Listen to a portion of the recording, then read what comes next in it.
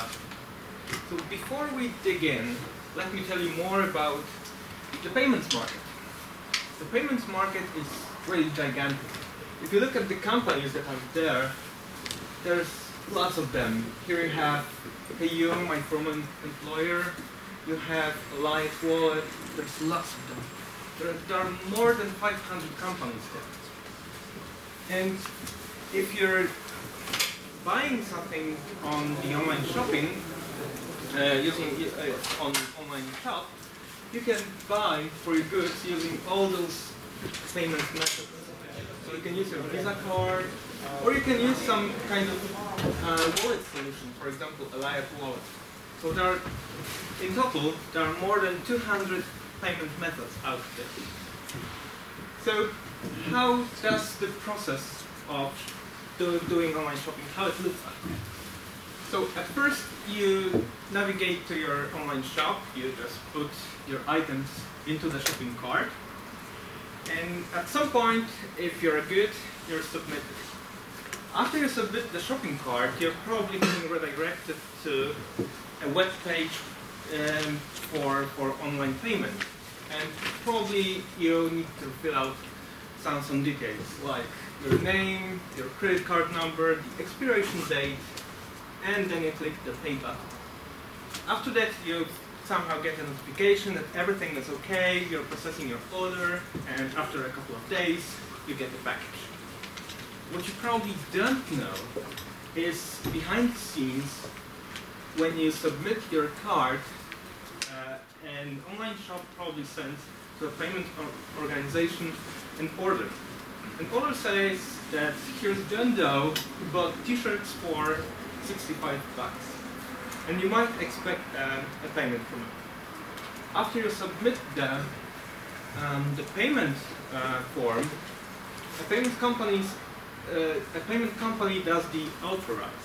So basically, it locks money on your credit card, so you can no longer spend it. It's still there, it's just locked.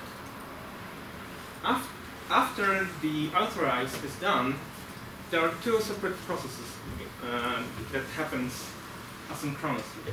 The first one is anti-money laundering, and the second one is anti-fraud. The anti-money laundering makes sure you're not supporting, for example, a terrorist organization, whereas the anti-fraud makes sure that you're allowed to pay with this card. For example, it has not been stolen. And if everything is okay, then the payments company do the capture phase. So this is the phase that money actually flows from one account into the another. And at any point of time, you can do a refund, which means just send the money back. We don't have, for example, your t-shirts. You order some t-shirts, we don't have them. Here are your money. Uh, here's your money back. And you can also issue a void authorize if you're right here. So this means cancelled transaction. Have you heard about this man? This is Frank Abagnale. Uh, have you seen the movie called Catch Me If You Can with Leonardo DiCaprio? Have you seen it? Yes. Basically, this is the history of this man.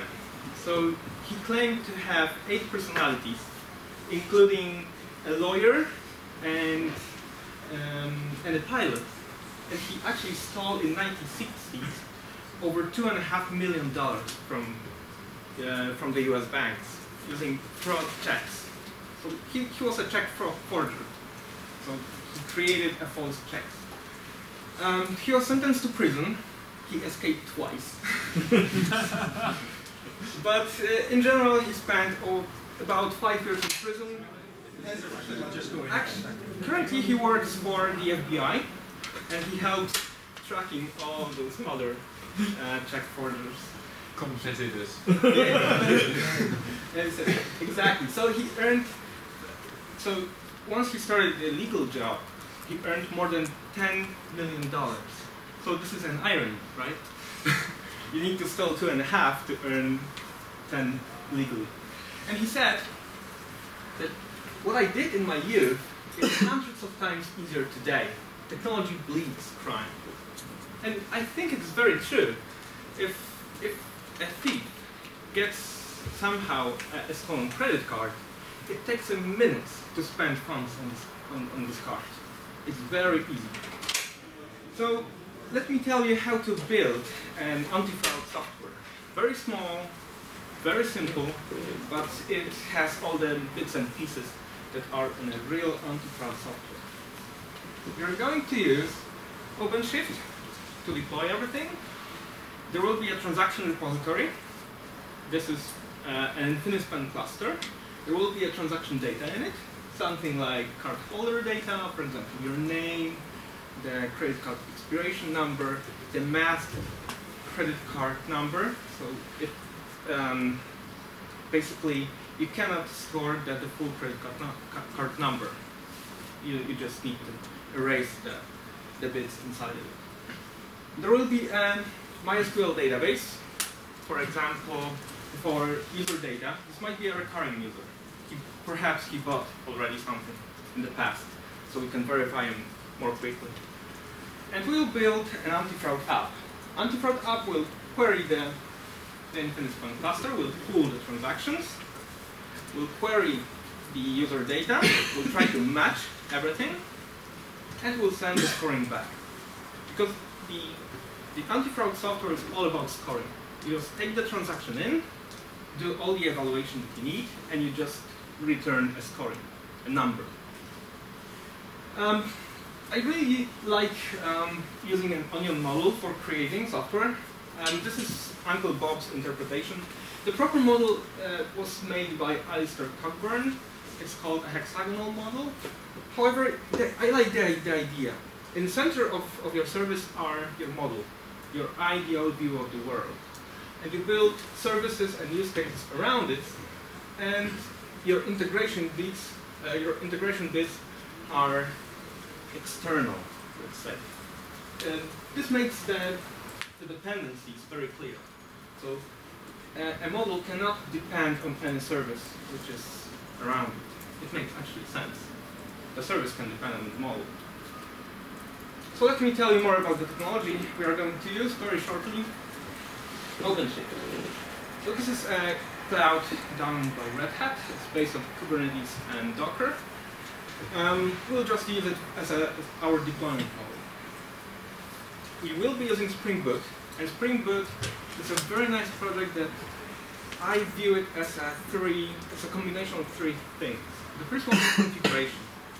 So Spring Boot tries to look at your class path and tries to figure out what is your configuration, how to, what to run to make to, to make your application uh, get moving. The second part is, is uh, packaging. Um, Spring Boot offers a Maven plugin, which takes all of your dependencies and package them into a single jar. And the third one is dependency management. So Spring Boot starters are basically um, a set of BOMs, a BOM files bill of materials. And they already contain predefined versions of dependencies that you're using. For example, if you use the Infinispan Spring Boot Starter, it will uh, get you the latest stable version of Infinispan. And the third is the Infinispan. It is an elastic and dynamic uh, in-memory data store which has key-value semantics. So it's basically a map from, from the API point of view. You can deploy Infinispan along with your app, so you just put Infinispan embedded, as we call it, uh, together with your WAR file or inside your jar, or you can connect to a remote cluster. Now, what's pretty funny, as, as I told you, Infinispan is in-memory uh, data store, and it can persist data um, to, to any other service that you like. It can be a relational database, or it can be Cassandra, whatever. We have lots of integration bits. For example, Camel, we have CDI integration. Infinispan is also a drop-in replacement for Memcached, and we have also C++ and C Sharp clients. There's a lot of features around querying the data. However, I'm not touching this part. We did massive refactoring in Infinispan 9 and there will be probably lots and lots of presentations about this, so I don't want to steal stuff. Alright, let's check some crowds, shall we? So the first thing that we need to do is we need to spin up a local OpenShift cluster. Um, in order to do this, you need to download the OpenShift uh, client tools, which are for your uh, for your environment. And once you download and install it, you will have the OC command on your platform. Can you see this from the from the behind? Okay. So in order to spin to spin up the local OpenShift cluster, all you need to do is type OC cluster up. Now I prepared a small um, a small script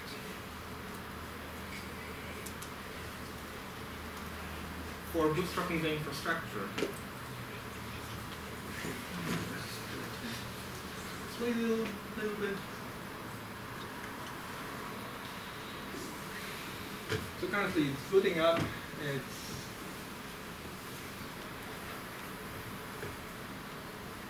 uh, installing the registry, router. Here it is. Okay. So let me initialize the infrastructure and tell me and tell you what, what's going to be there. The first one is uh, MySQL database and a service for it. Basically, uh, Kubernetes, Kubernetes and OpenShift um, deploys applications uh, using pods, so-called pods. Those are Linux containers, and you can create services which act as load balancers for them. They also create a DNS entry for this. We will need the DNS entry later on. I'll, show in a moment. So we create um, a MySQL, uh, both, uh, both MySQL pod and a service, and we create also an Infinispan, which should be somewhere here. We also create Infinispan deployment, so this will create our pods. And here's the tricky part that I want to show you. The first one, need to use uh, Kubernetes, Kubernetes JGroups discovery. OpenShift is based on, on JGroups as a clustering service. So JGroups needs uh, a protocol for exchanging data and also a protocol for discovery. And here we are using Kubernetes, JGroup stack, which will use kubeping underneath. And in order to, to get kubeping to work, you just need to set the environment variable and get the, the namespace using downwards API. So I hope everything is up till now. So let's check it out. Oh, get pause. Everything is running. Let's have a look at the, the transactions. Okay, we have a couple of transactions. So bootstrap all the all the infrastructure that I showed you.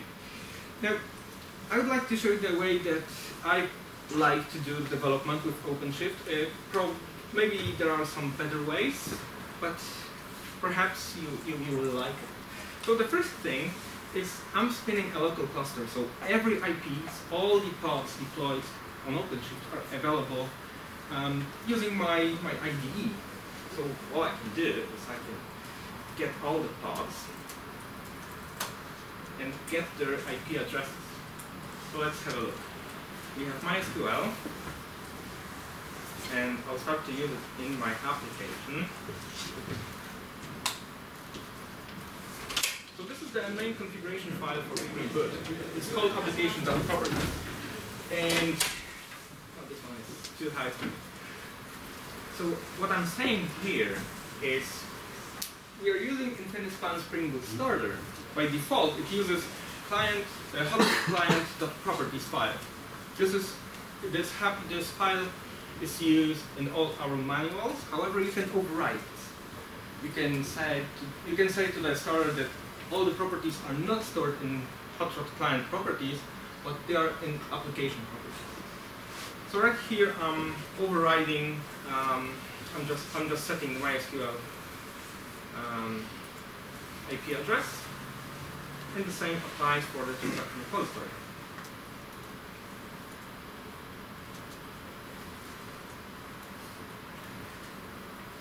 So now we need to figure out how to how to connect to this remote Infinispan cluster.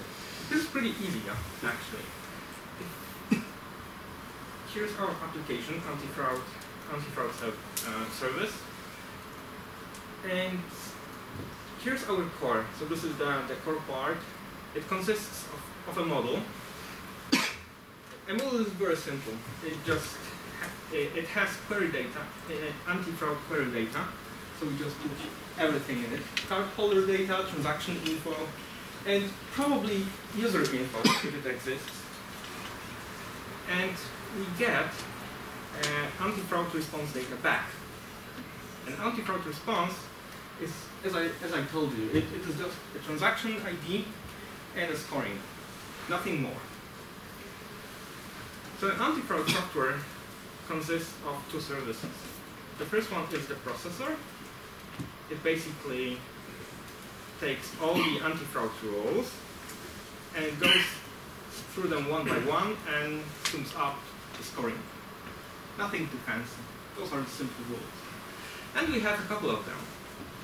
We have card expiration date rule, for example, or transaction amount rule. So the transaction amount is really simple. It takes the uh, transaction amount and it checks if it's more than 100. And if it is, then it bumps up the scoring um, um, by 50. And if it's not, if this is a really small, small amount of, um, of dollars, small amount of money, it just takes the, the scoring down. In our example, there are three, three such rules. In real world anti-fraud system, there are thousands of them. So here's our our anti-fraud uh, core of our system, and this is the, the integration bit. That you're integrating with the transaction transaction the, the rest of the transaction system.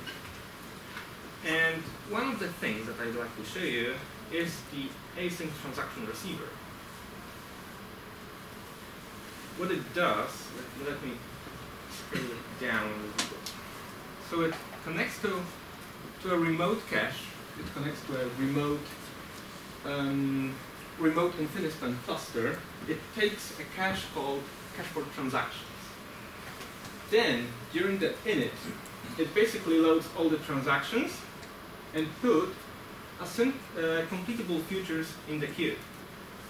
So all transactions are in the form of completable future because sometimes if we are if we are loading the old data, we have value and a key.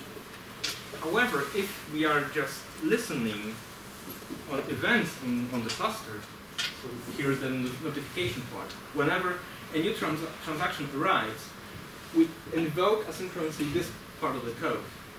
And here we get only a key. So we need to load the value asynchronously. So this is, this is the part. Everything is baked on the completable future and a blocking queue.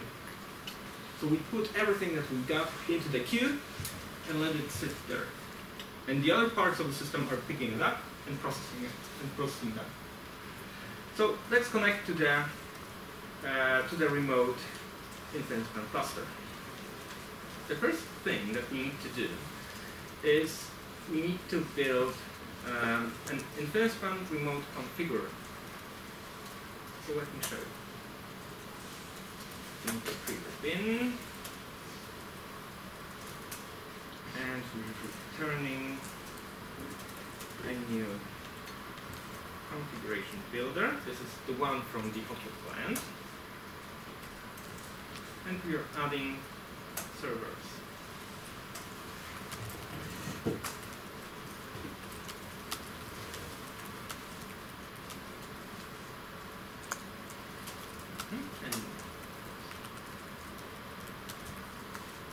So here it is. So let's let's have a look if everything works. Okay. The reason that I use the IP addresses is that I want to use Spring Boot from my console. I want to make it super easy for, for developer. And as you can see, something is actually. We are some, some transactions. However, if you if you have a look, it's it's bloody slow. Everything happens you know, really slow.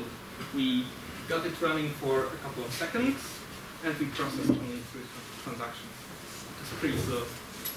So what can we do? We can use some uh, profiling tools just to just spot the bottleneck. But there's another way, a very simple. Have you heard about aspect-oriented programming?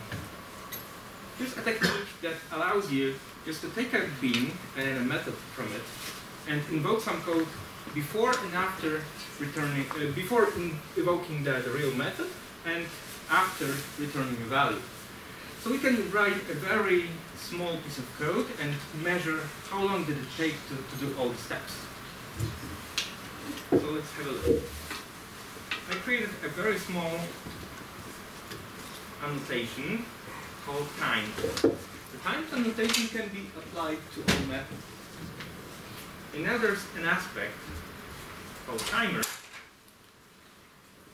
which, which basically looks through all the code, takes all the methods annotated using time annotation, and it logs the time before the actual invocation, and com eh, and it computes the time, the amount of time that took to invoke the real method.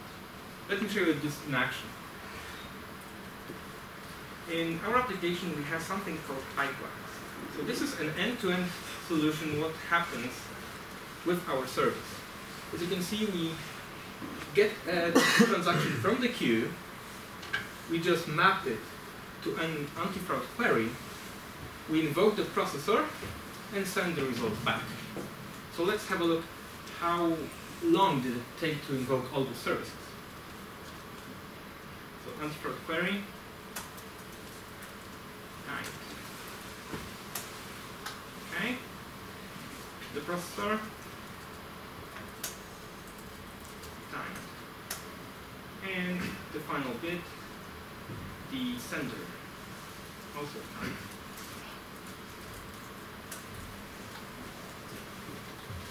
Okay, let's invoke I think you put the la la one before last wrong.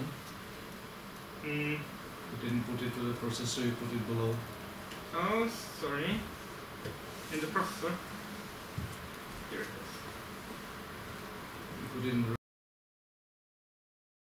response data. In the response, You put it on the method. yeah. Okay. Yeah, yeah, exactly. Now, let's make it smaller. Okay. So, completed, let's see. um, so here we have, the process is pretty long, 300 milliseconds, but this, this one is, is, is very bad. The anti-fraud query mapper, it takes two seconds. So what can we do with it? With it? We need, we need to focus how to optimize it. So let's have a look. So the problem is with this method. So here is the, the, the magic trick that makes it, you know, stop a little bit. but let's assume that we cannot modify this code. This is a remote service, and we cannot do anything with this. So Spring offers you a very good capability called Spring Caching. This is a, a concept in Spring Core, and it's another annotation that you can use on top of methods. So you, you're just saying, just apply a caching on this method. So if you see the matching parameters, the first and last name that is already in the cache, just return it without looking into the method. And caching, of course, needs proper configuration. So let's have a look. The first thing that we need to do is we need to enable caching. Uh, it's pretty simple. And if we left it like this, the Spring would use the default implementation. It's probably based on Guava. But we want to use Infinispan, right? So for this, we need an Infinispan embedded cache manager. So we need a bin. So we need to configure a local cluster with all caches in async or sync mode, it doesn't matter, all needs to be distributed. And we need to create um, the cluster with, with name internal cluster for caching. So let's get to work. Uh, we need to create global configuration builder. and now we need to go into transport and cluster name. So this will be our cluster name. The cluster name is pretty important because if we use many clusters on production, they will try to form a unified cluster. A cluster name is just a way to, dis to distinguish them. And we also need a cache configuration, which is uh, which can be created by using configuration builder. But watch out, it's not the one from the client, it's this one. And we need to create clustering. Now the mode. We have a, a couple of modes in, in Infinispan.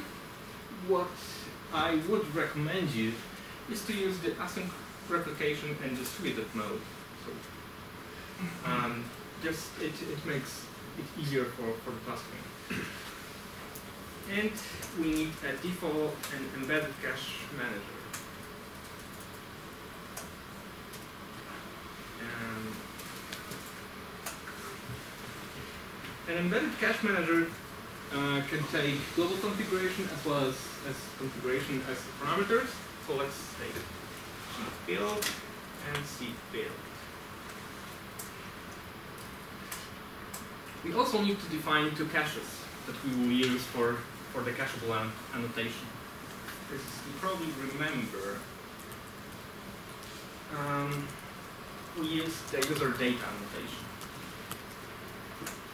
So the first one will be um, user data. And we need the configuration. And the second one will be GUIDs. And we need to So we have everything um, up and running, so all we need to do is just return the Spring Embedded Cache Manager, which just takes um, which just takes one parameter, which is Embedded Cache Manager. So we're just returning here.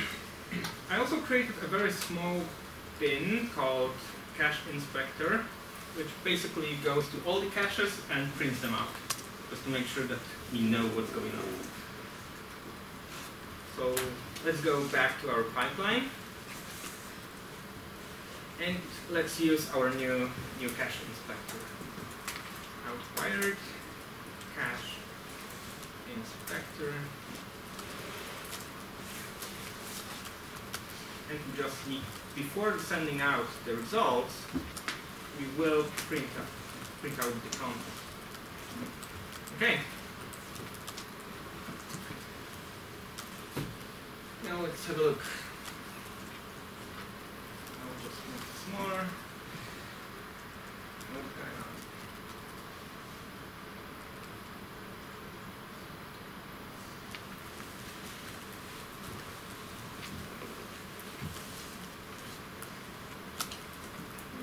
Use transport Related if you go down the tree. Transport related, same. Uh, transport should be configured down there. Um,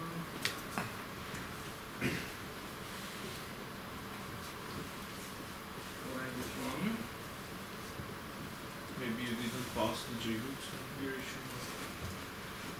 It should be okay. Um, let me see. Um,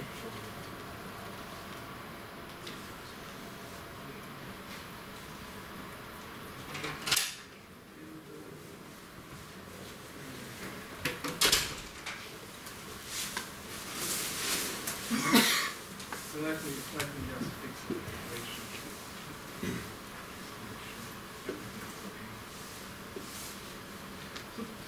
So I probably did some typing error. I hope.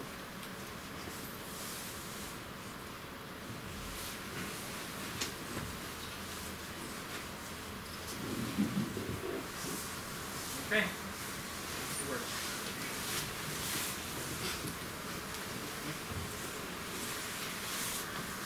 Okay, let's give it a moment. Now what you see here is is the dump of the the cache the cache content. But let's let's wait a moment and let's see if if the caching really works because it, as you can see the last names and first names are added to the cache. But we have no idea whether the, the cacheable annotation really works, whether it's speeded it up. So let's have a look. Here we have transfer fresh three seconds. But two seconds. There are some entries which should be really quick. So let's spin up a couple of instances.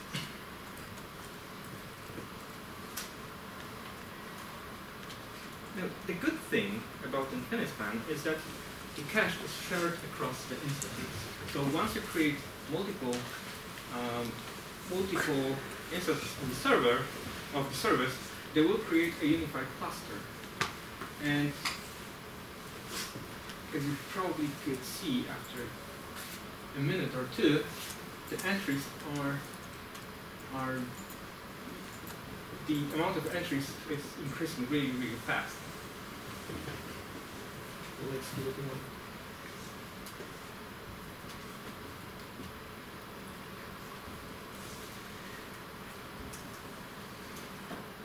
So how did it go?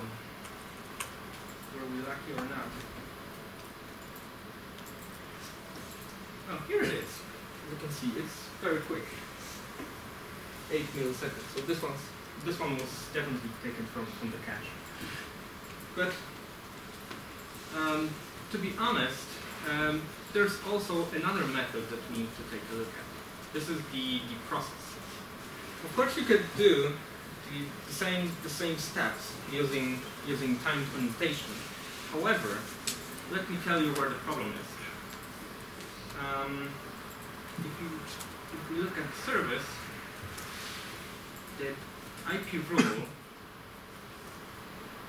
basically takes the IP from the query and uses GeoIP service just to determine what is the country. So for example, if user's country is the same as the transaction country, then it's, it's probably not a fraud. However, if my card is registered in Poland and there's a transaction from Nigeria, oh, this might be a problem. So let's have a look at the GeoIP service. It's again very simple, but again we cannot modify it.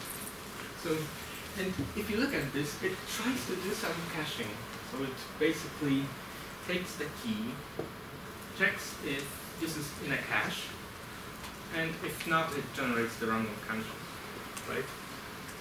But whenever I use Infinispan and I see the code like this, I just remove it because all the do-it-yourself caching is probably worse than, than using a sophisticated framework.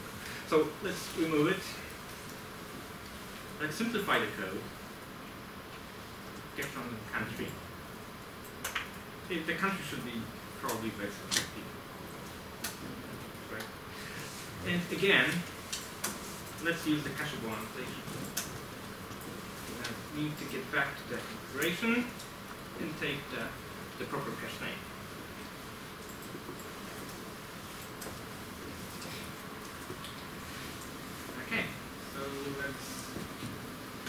As it up.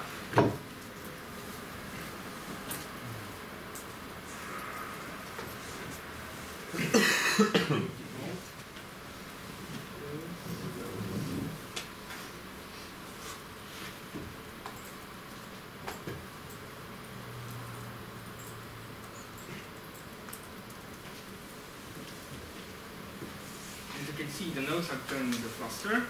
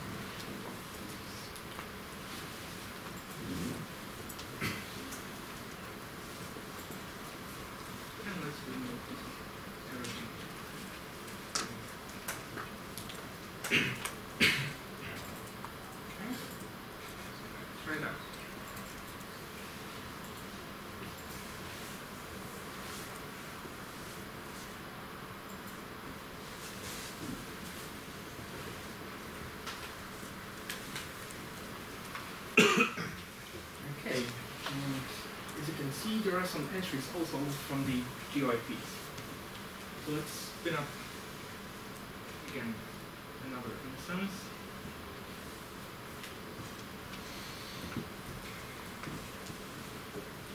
And a third one.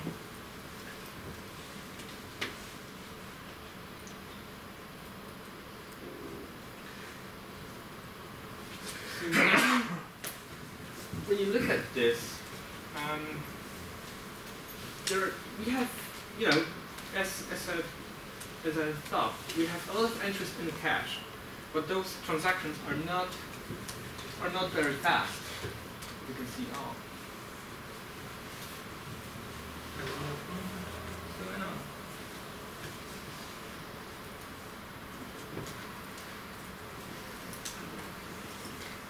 But those transactions are not processing very fast. So I'm not sure if we can spot an error.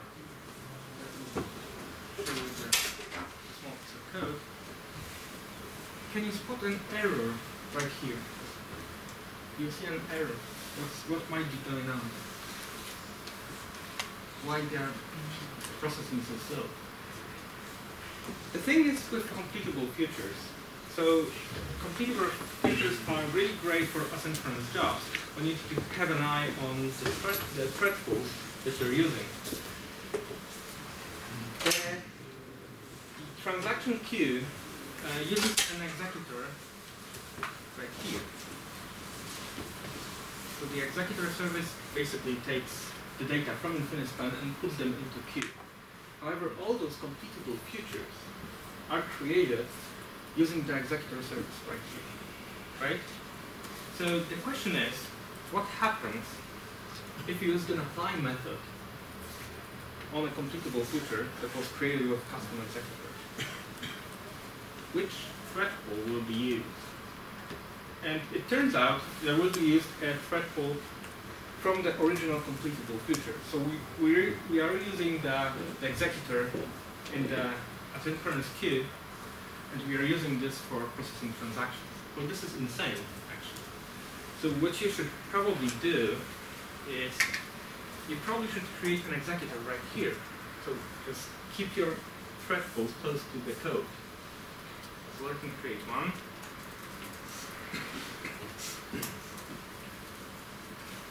Executors.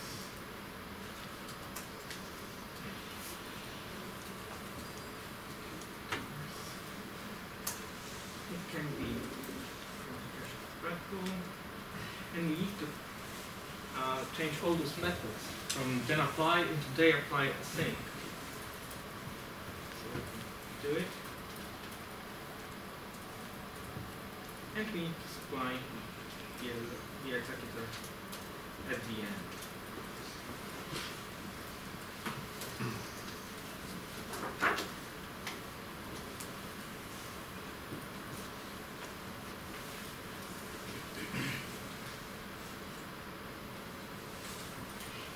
Actually, we can even improve it a little bit further. We don't care about the result. Right? This is a fire and forget.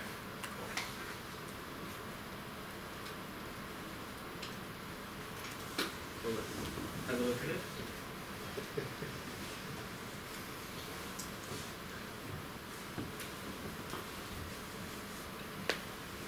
Much faster, right? So probably all the transactions that were there are already processed. Those are the tricks that you could use to optimize your code very quickly. So all you need to do is to add InfinityLine to your path and use the cacheable annotations wherever the performance is the bottleneck, whenever you can uh, cache anything. Now, the funny thing is that all the instances form a cluster. So whenever you add new instances, the cluster becomes bigger. And if you need the additional capacity, um, all you can do is just to remove three of the nodes, and that's it. So now the, the last piece of, uh, now the last piece, how to put this into OpenShift. So this is actually very simple. Um, if you look at the uh, the configuration file, we use the IP address right here. Of course, in the OpenShift, you cannot do this. You need to rely on DNS names. And DNS names uh, are bound to the services. So all you need to do is to get the services from Infinity, uh, from uh, from OpenShift. And here we have MySQL. So let's right here. And we need a transaction repository. So let's put it right here. And finally, we can use the Fabric8 Maven plugin just to package your app because it's very easy to package Spring Boot application. This is only one jar, and that's it. So you can use the Alpine image as a base. Alpine, this is, this, those are the smallest images for Java. Just put your uh, application whenever you want and invoke java minus jar, java minus jar, and you're done. So let's do it. Um, make clean fabric. Okay. and as it deploys, let me show you the OpenShift console. The local console uh, is always available for 8 corpor 3, and you need to use credentials developer developer.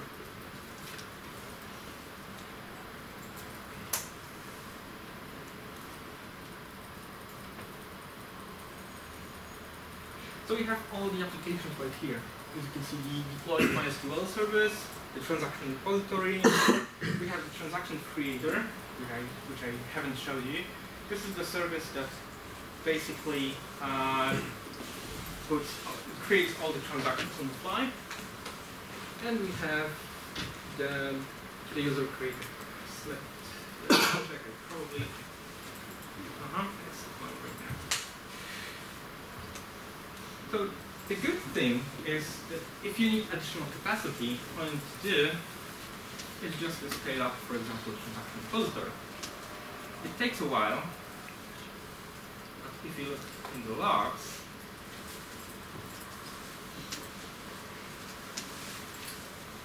three, four, for the view, there are two nodes inside the cluster. So again, this is very good for things like like transactional systems. For example, imagine that you're uh, processing transactions before Christmas when everybody's buying presents, right? You need additional capacity, so you need to scale your cluster up.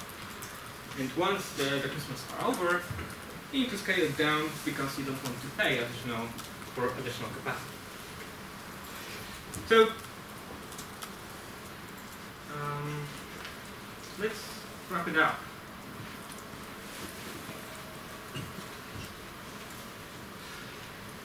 Spring Boot is really good for writing the wire code, as I call it. So just take all the bits of your applications, glue them together. It's really, really It's brilliant framework for doing things like this. It packages everything into a single jar, which has a lot of advantages. You just type Java minus jar, and you're ready to go. It has lots and lots of integrations. So you can integrate with easy, you can integrate with Infinispan, whatever you really want. Infinispan is a dynamic and elastic solution which fits perfectly into the cloud. If you need additional capacity, you just add a couple of nodes there. If you don't need it, just remove them. It doesn't use a single master, so there's no, you, don't need to worry that you kill the, the most important node in the cluster, because there is none. Um, it operates using multiple modes. You can just treat it as a data source, or you can put it along with your uh, application. It's perfect for caching. It, together with Spring Boot, makes caching, you know, very easy. And finally, OpenShift. It's very good runtime platform. It's our new RHEL. Basically, you just take everything and run it on OpenShift. OpenShift uses containers as a base technology and does all the housekeeping. For example, you could use the containers alone without OpenShift, but then you would need to have a look at the amount of uh, copies of the service. You need to remove them if there's too much of them, etc. So it does all the housekeeping. So that's all. Thank you.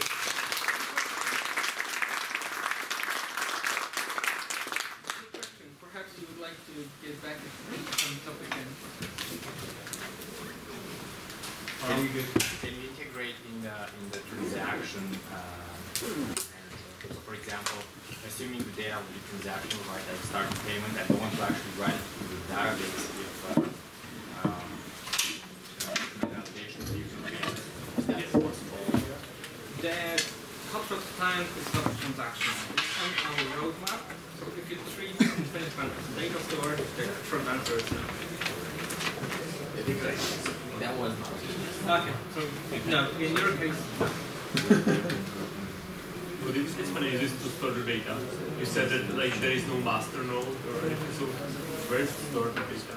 The store, uh, data is stored with all the nodes in the cluster. So if the node goes down, there's a state transfer or some al- al- also called data rehash going on. So the cluster distributes the data again, or some parts of it, just to make sure there are, for example, at least two copies of the data always. If the node fails, it will distribute it to another. So how many nodes do you need like for the, for the physical cluster at least? So it depends. It depends. Uh, if if you're doing a standard clustering as I know it, you'll probably have a couple of nodes of Infinispan. By a couple, I mean several of them. You, you would need to count your data. Uh, and you probably would want two copies of data inside the cluster. So one goes down, you have a backup copy. Mhm. However, if you're a paranoid, you can just have as many copies as you want. So wh- what are the largest setups? Uh, is it how many nodes, how many coaches in the cache? Uh, I've heard an urban story about about 1,000 nodes. okay. I'm not sure if this is true or this is an urban legend. I think having having such a big cluster is a terrible idea because imagine that you need to upgrade the cluster. So you need to bring, bring all the nodes down and gradually replace them with the new ones. Thousand nodes, it would take you a week. Yeah, but if you want to feed the data local to some process, then Of course. that may be a solution. And in terms of, is it rather suitable for smaller objects or in it manage larger Um. You can store both. You can store both. And what, what are the examples of largest deployments? Is it in terms of tens of thousands of data or millions? I would have to check this, to be honest. To be honest, I don't know.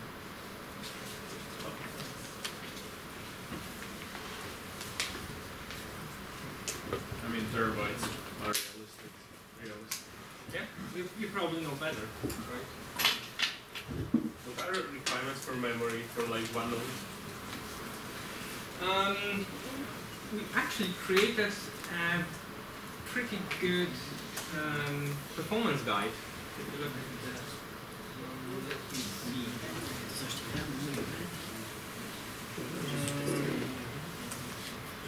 Um, ah, learn documentation. If you Chrome, performance guide. And here you have requires memory for distributed networks. So you just need to evaluate this equation. Right. So basically, you need to have a number. What's your data load? Your data size, and you need to know how many failures do you need to tolerate. For example, two. Do you need to a primary owner of data and a backup, or primary owner and two backups? It depends.